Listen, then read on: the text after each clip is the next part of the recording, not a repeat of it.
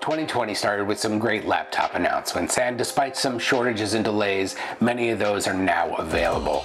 These are our favorite laptops of 2020 so far. For this list, I, along with CNET's other laptop reviewers, Dan Ackerman and Lori Grunin, tested a bunch of laptops over the past few months and went through and selected a few of our favorites to put on your shortlist. Let's dig in.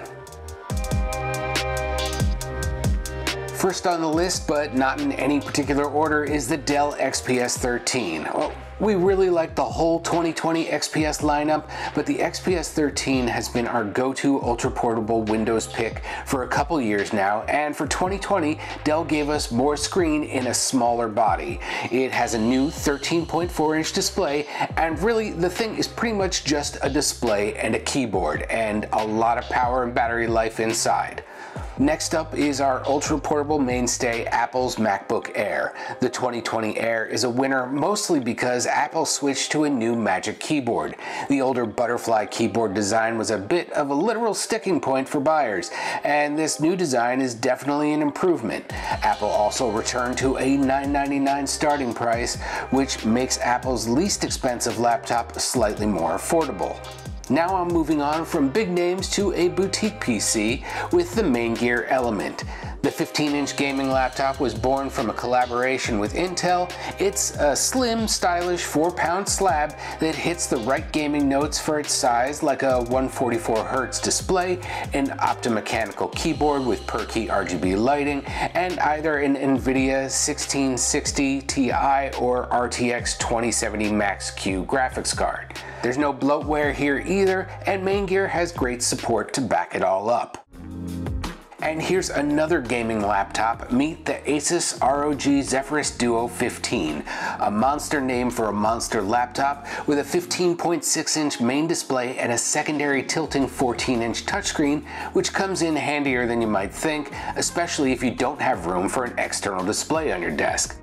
Inside you'll find up to an Intel Core i9 processor and NVIDIA RTX 2080 Super Max-Q, so plenty of gaming performance, but you'll pay for it with a starting price of $3,000.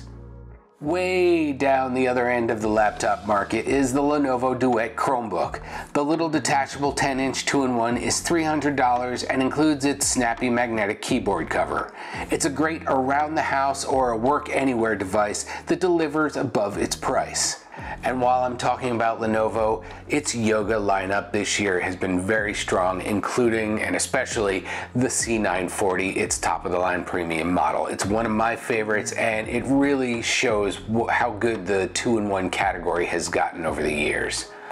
There were also a few laptops that showed up toward the tail end of June that we've started testing but aren't quite finished with yet, but look promising, like this Gigabyte Aorus 15G. It's a gaming laptop with a Pantone certified display and a mechanical keyboard with Omron blue switches.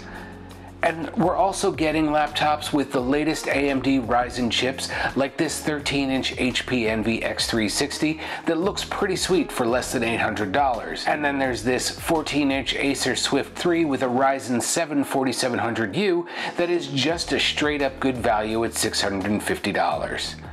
So there you have it. That's our list of some of our favorite laptops of 2020 so far. Thanks for watching. And are there any that we missed? Let us know down in the comments. And uh, check us out on cnet.com for all of our laptop and tech coverage.